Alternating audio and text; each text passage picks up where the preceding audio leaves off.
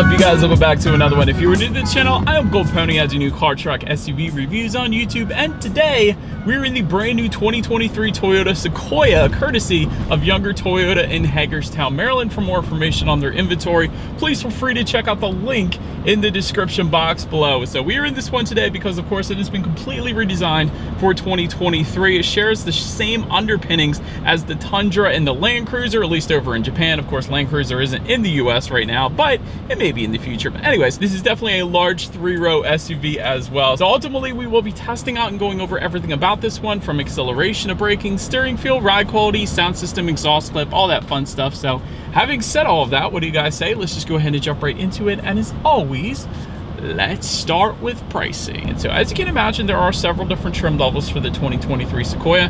First one being the SR5 starting at 59,865 limited for $66,265. Platinum, which is the one we are in today, starting at $72,465. TRD Pro for $77,565. And lastly, the Capstone for $76,865. And by the way, that was all pricing for the rear wheel drive variant, except for that TRD Pro. That comes standard with four wheel drive. If you wanted to add four wheel drive to any of those trim levels, simply add $3,000 then to any of those prices. But regardless of trim level that you go with, the power plant on the Sequoia is going to be the same. Powering the beast is a 3.4 liter twin turbo V6 hybrid, putting out 437 horsepower, 5200 RPM, 583 pound-feet of torque coming in at 2400 RPM. That power again sent to rear wheels or all wheels through a 10-speed automatic.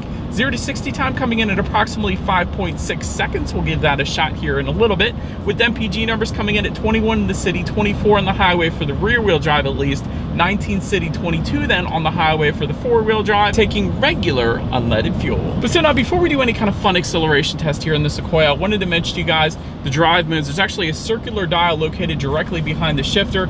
If you turn that to the left and the right, you got Eco, Normal, Sport, and then there's also a tow and haul mode button as well. So ultimately adjusting things like the shift points, the throttle response, and the steering sensitivity. So now having got all of that out of the way, what do you guys say? Let's go ahead and put the Sequoia to the test. Let's find a straightaway and let's see how quickly we can get our new 2023 Sequoia here up to speed. All right, three, two, one, go! Okay, this thing is moving. that is fun. that was quick, man. That is plenty of an acceleration for the Sequoia. Honestly, I didn't know an SUV of this size was gonna move like that. That was a very, very good acceleration for this thing. And honestly, 0 to 60 in 5.6 is an impressive number in itself, but yeah, that was a really, really good acceleration. Definitely impressive. But anyways, to go along with that acceleration, as always, braking is equally important. So up front, you will find 13.9 inch ventilated front discs. In the back, 13.6 inch ventilated rear disc. As far as that 6E0 stopping distance goes, that comes in at 134 feet, which is not the best number on paper, but let's go ahead and just hit the brakes real quick.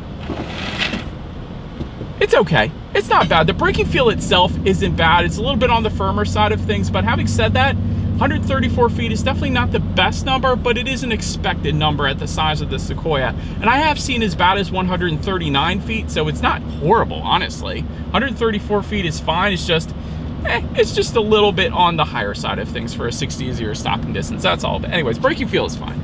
Then touching on suspension and handling, up front you're going to get an independent double wishbone type front suspension. In the back, coil spring multi-link rear suspension. It did want to mention though for the TRD Pro, you get a TRD Pro off-road suspension with 2.5 inch Fox bypass coilovers, also rear remote reservoir shocks, and a TRD Pro front stabilizer bar as well.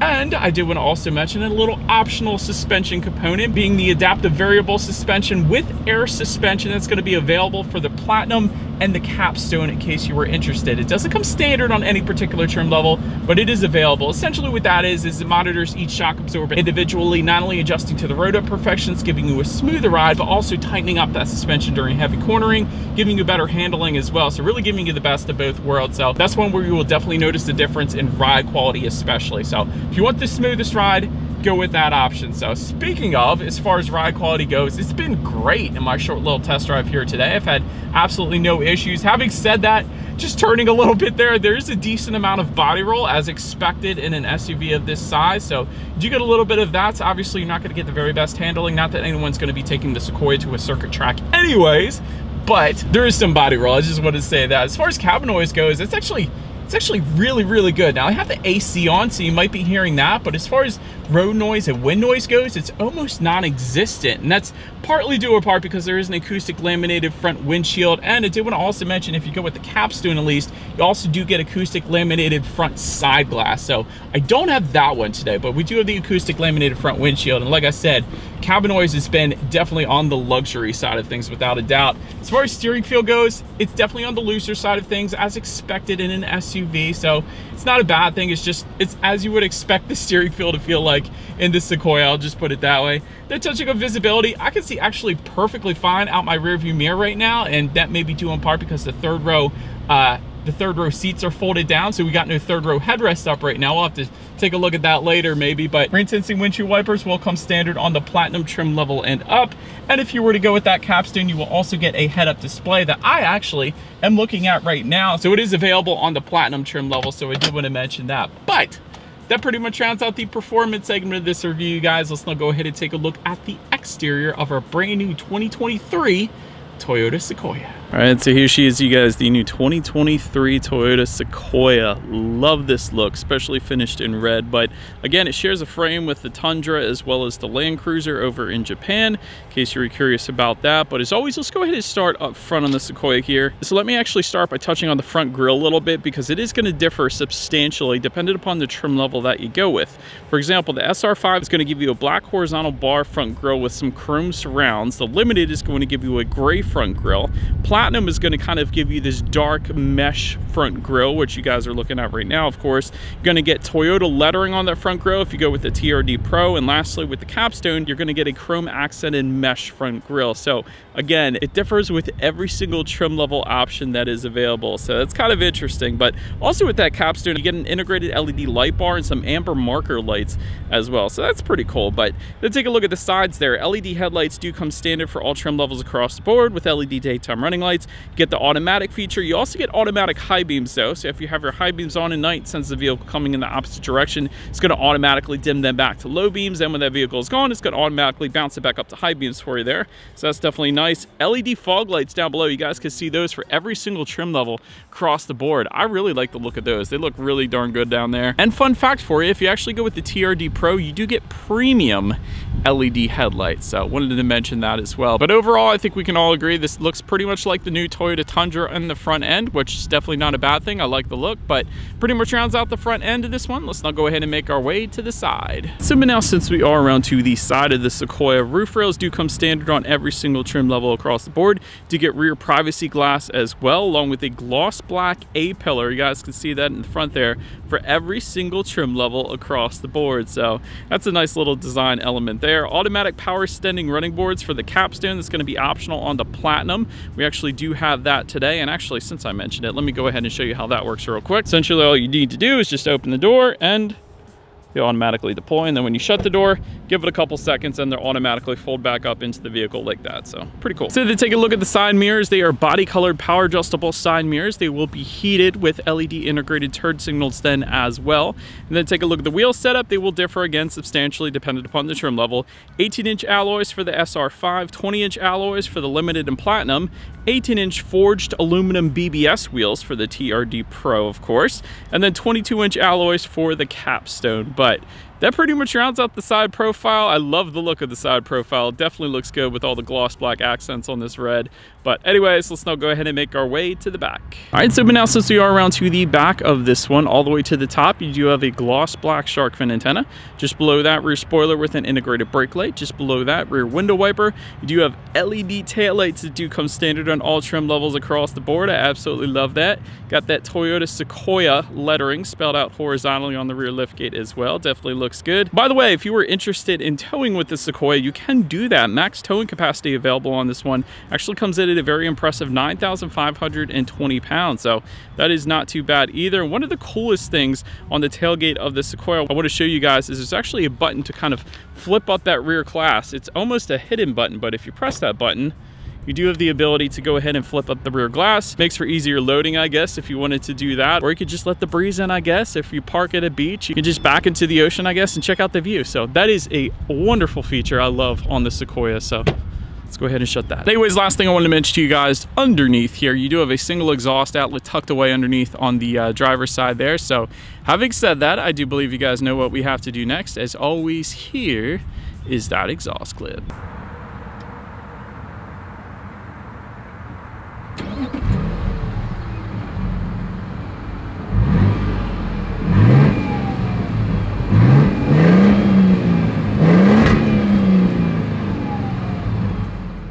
So but now since we are around to the back of the Sequoia, when it comes to opening that rear tailgate, it is a power tailgate for all trim levels across the board, so that's definitely nice. There's a button on the key fob. There, of course, is a rubberized button on the tailgate itself then as well. But once opened up, cargo capacity behind that third row comes in at 22.3 cubic feet. If that was not enough space, of course, there is a 60-40 split, so you can fold that third row down. So behind the second row, that comes in at 49 cubic feet, and with all rows folded, 86.9 cubic feet. So right around the amount of cubic feet as a Toyota Highlander or Honda Pilot or something like that. But there were some buttons actually in the cargo area. I was a big fan of them. It was very easy to uh, fold down and up that third row. So I liked seeing that back there. There's LED cargo lighting back there. There is a 120 volt power outlet if you were to go with that limited trim level and up. There's also a very nice multi-level cargo shelf system back there. So can essentially take the shelf and move it up or down. There's a bunch of different slots essentially. You could just kind of slot it in above. So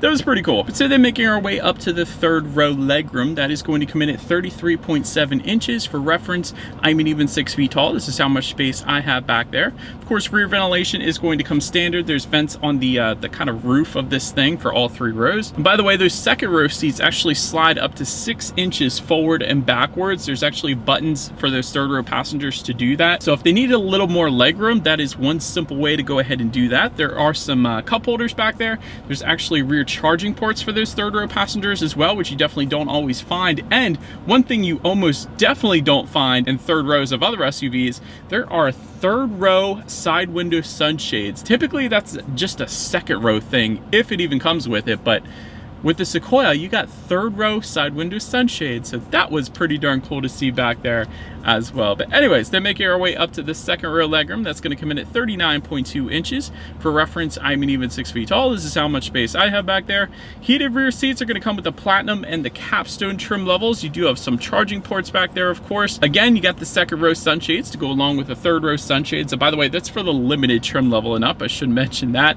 And if you were curious about bench seating versus captain's chairs. You do get the bench seating with the SR5 and the Limited. However, all the other trim levels are going to come standard with captain's chairs like we have on this one today. But so then making our way up to the front seats, you will find a fabric trim for the SR5, Softex upholstery for the Limited, leather seating then for the Platinum trim level and up. You're going to find memory settings for the Limited trim level and up.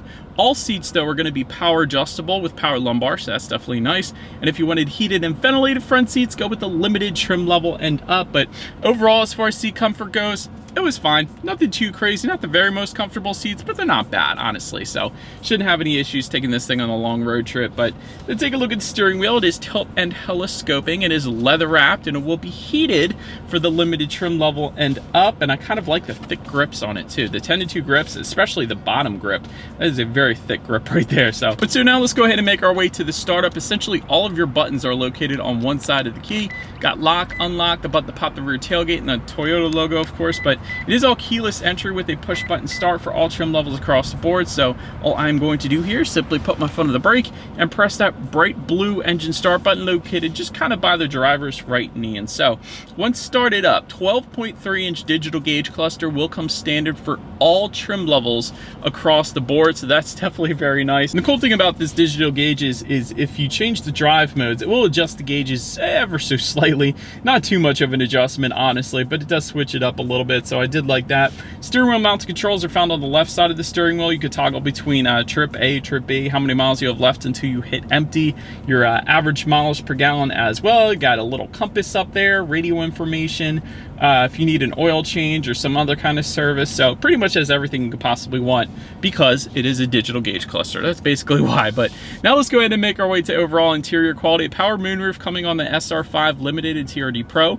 Panoramic roof coming on the Platinum and Capstone. LED interior lighting for all trim levels across the board. Wireless phone charger for the Platinum trim level and up HomeLink controls for all trim levels across the board as well. I love that, and that can be found just below kind of this frameless rear view mirror, so big fan of that as well. And since we're up here, we actually have an overhead sunglass holder here on the roof of this thing, so I like that. Overall, as far as interior quality goes, it's not bad. It's pretty much finished like the interior of the uh, Tundra. So if you've seen the interior of the new Tundra, that is essentially what you're looking at. You do have some cool platinum lettering found just above the uh, passenger side glove box. I would imagine that would change depending upon the trim level that you go with, obviously. I like the blue contrast stitching. It matches with the blue engine start button since this is a hybrid. It's going to be a lot of blue accents. But just to the right of the shifter, that's where your wireless phone charger is located. A little bit of storage there. You do have uh, dual cup holders as well. And within the center armrest here, there is an absolute ton of space as you would imagine because of the size of the vehicle. There's some coin holders in there. There's a couple USB charging ports actually as well. But so now let's go ahead and make our way to the infotainment, the tech here. 8-inch color touchscreen display is going to come on the SR5 trim level only. However, all other trim levels are going to get a 14-inch color touchscreen display, giving you Bluetooth and audio streaming, Android Auto, Apple CarPlay as well. And by the way, that's a wireless Android Auto, Apple CarPlay, so that's even better. You can check out some driving statistics up there if you wanted to, along with your radio information. So when it comes to the sound systems, there's going to be an 8-speaker sound system for the SR5 and Limited, and then a 14-speaker JBL sound system for the Platinum TRD Pro and Capstone. So having said that, what do you guys say? Let's go ahead and turn on the radio today. Let's see what we got planned, and let's test out the clarity of this one.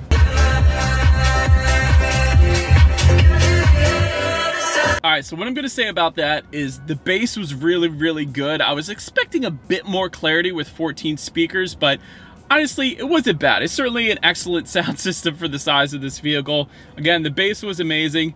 Not the best sound system I've ever heard though. But anyways, last thing I want to mention to you guys on the infotainment screen is when you do put the Sequoia in reverse, you will find a rear view camera coming standard across the board along with a panoramic view monitor. And yes, that comes standard for every single trim level across the board. That's going to be that view to the right there, which is always is going to lead us into safety. And so IIHS has not yet tested the Sequoia. So typically I give you those ratings, but there isn't any yet. But anyways, I will say the new Tundra was an IIHS top safety pick plus, and since the Sequoia is built on the same frame, I would imagine the Sequoia would probably be the same. But anyways, front side side curtain airbags do come standard driver and passenger knee airbags as well. In the back, you're gonna have latch, aka lower anchors to tethers for children for the rear car seats, rear child door locks, tire pressure monitoring system, but also coming standard, Toyota Safety Sense 2.5, which will give you a pre-collision system with pedestrian detection, dynamic radar cruise control, lane departure alert with steering assist, lane tracing assist, road sign assist, blind spot monitoring system with rear cross traffic alert, trailer merge warning, and front and rear parking sensors as well. That's a good bit actually. So Overall, when it comes to my final thoughts, this thing does have a good bit of space, about the same as a Highlander, a Pilot, which is plenty of space for me, honestly.